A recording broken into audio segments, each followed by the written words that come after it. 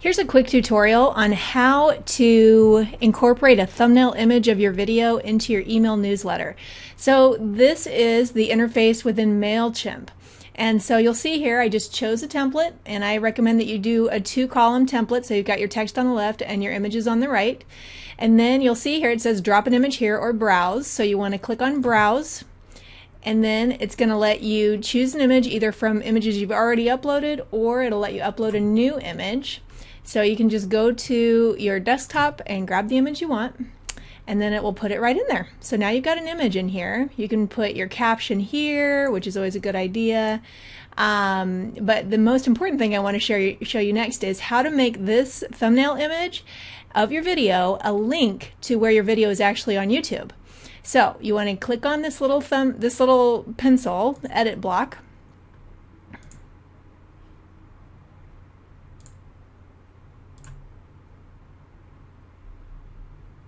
And then you're going to see here, link. That's where you want to click, right on there, where it says link. Now it's going to let you put in the link that you want this thumbnail image to be connected to. So you go back to your um, YouTube channel and then you're going to click on the correct video. And then you're going to go up here and copy and paste the URL and then just paste it there. And an easy way to copy and paste if you have a PC, not a Mac, but a PC, is Control C to copy and then Control V to paste.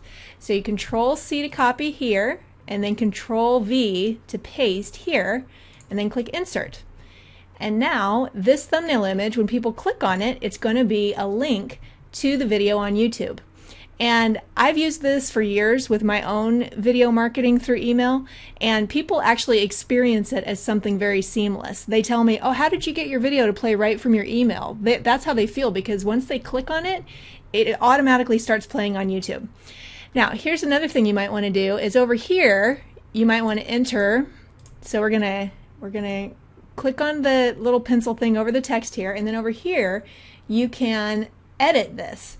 So if you say, watch my one minute video about retirement planning or whatever it is,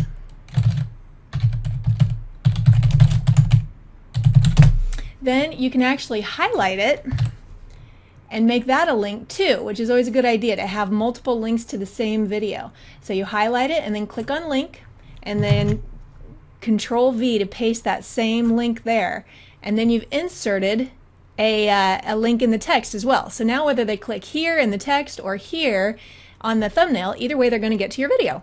So that's a very quick and easy way for how to insert links to your videos in your thumbnail image and also in text in your email newsletters. I hope you'll use this tip over and over every single month and put videos in every single email newsletter you send out. You're going to get a higher open rate when you put video, the word video, in your subject line to your emails, and you're going to get a higher engagement rate. People are going to actually click on your content and watch it and engage with you and feel like they got good value from you when you include video in your emails.